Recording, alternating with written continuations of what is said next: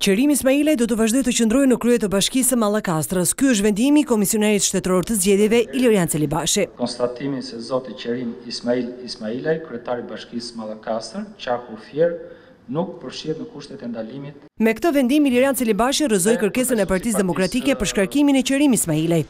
Për opozitën, kryebashkiaku i Mallakastrës është në shkelje të ligjit të dekriminalizimit, pasi rezulton i dënuar me tre vite heqje lirie në Greqi dhe se në momentin që ai kandidoi për kryetar bashkie, ishte në kushtet e ndalimit. Vendimin e tij, Ilirjan Celibashi e argumentoi me të dhënën se Komisioneri Shtetëror i Zgjedhjeve i referohet dokumenteve që përcjell Prokuroria, sipas së cilës Qerim Ismailaj për veprën penale Konflikt dhe Përleshje në Greqi, në vendin tonë do të ishte dënuar vetëm me gjobë, masë e cila nuk përfshihet në kushtet kur një individi i ndalohet të ushtrojë funksione publike.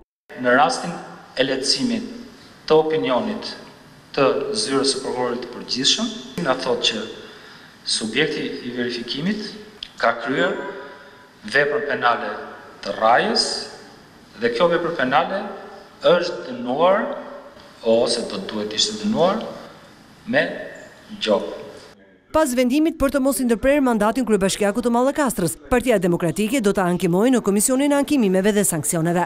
Konvertimi i një vepre penale të bërë në shtetin e huaj në legjislacionin shqiptar, aplikohet vetëm masa e dënimit, pra me sa vite burg është dënuar personi, masë dënimi nga fillimi i së cilës fillon edhe matet edhe periudha e ndalimit, që në këtë rast është dhjetë vjeçare. Periudha dhjetë vjeçare e ndalimit ende nuk ka filluar, pasi personi ende i shmanget kryerjes së dënimit në vendin fqinj Greqi, prandaj dhe sot e kësaj dite gjendet qartësisht në kushtet e ndalimit. Prej dy mijë e nëntëmbëdhjetë-s Qerim Ismailaj drejton Bashkinë e Mallakastrës dhe në formularin e dekriminalizimit deklaronte se nuk është dënuar për asnjë vepër penale.